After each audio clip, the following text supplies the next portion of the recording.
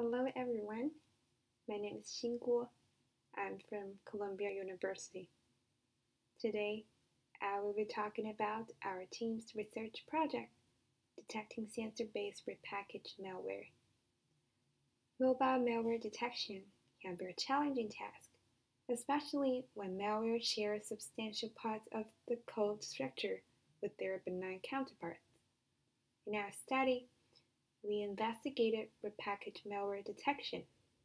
Repackaged apps come with a combination of benign and malicious features, which makes the, de the detection difficult.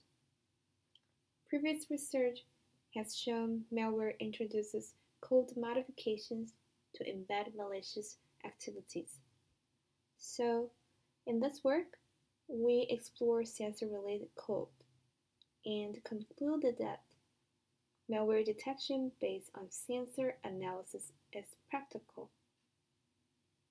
We used APK samples from AndroZoo to explore sensor usage patterns and generate a dataset for malware detection.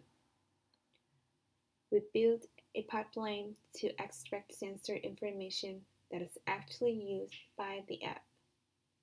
We found that the sensor usage is more abusive in malware than benign apps. We add in sensor features to improve the detection performance of malware classifiers. As an initial evaluation of using sensor related features to distinguish between malware and benign apps, we conducted a two proportion z test on the null hypothesis that malwares are as likely to use sensors as benign apps. At 1% significance level, we found statistically significant evidence that the proportion of malicious apps using sensors is higher than benign apps. Then, by adding sensor information to app attributes in malware detection, using five different models, we see improvements in all the classification results. We visualize the performance of each classifier in the ROC graph. Each color represents a model, and dotted lines represent data without sensor information, while solid lines are with sensor information.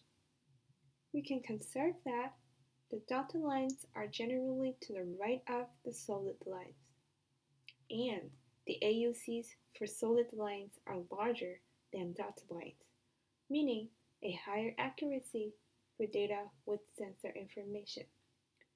It is safe to conclude that sensor usage analysis is useful in this classification task. We hope our work on sensor usage can shed some light on code analysis methodologies in malware detection.